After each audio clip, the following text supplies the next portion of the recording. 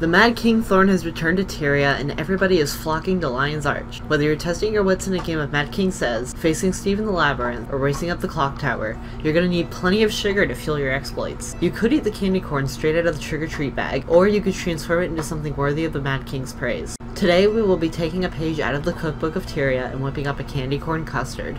This is a two-layer custard, and we will be making it one layer at a time. In total, you will need 4 egg yolks, separated, 4 teaspoons of cornstarch, split in half, 2 teaspoons of vanilla extract, split in half, 1 1/2 cups of milk, split into 3 fourths cup halves, 1 half cup of heavy cream, split into 1 4th cup halves, 2 tablespoons of granulated sugar, and 3 quarters of a cup of candy corn.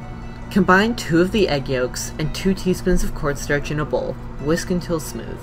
In a saucepan, combine 3 quarters of a cup of milk, 1 quarter cup of heavy cream, candy corn, and 1 teaspoon of vanilla extract. Cook on medium heat and stir until candy corn is dissolved. Temper the egg by adding a small amount of the milk and candy mixture, whisking, then return to saucepan. Cook on low-medium heat until custard thickens, between 2 to 5 minutes. Fill ramekins or small dishes about halfway with candy corn custard and allow to cool.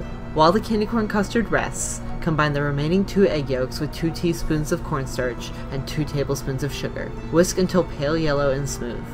In a saucepan, combine 3 quarters of a cup of milk, 1 quarter of a cup of heavy cream, and a teaspoon of vanilla extract. Cook on medium heat and stir until just below the simmering point. Temper the egg mixture by adding a small amount of the milk and whisking, then return to the saucepan. Cook on low medium heat until thickened, about 2 to 5 minutes. Fill the rest of the ramekin with the vanilla custard. Garnish with a piece of candy corn in the center. Enjoy hot or chilled. Now you have the perfect recipe to use up your excess candy corn after a long day of labyrinth farming. And if candy corn isn't your thing, just double the vanilla custard recipe instead. Happy bag hunting!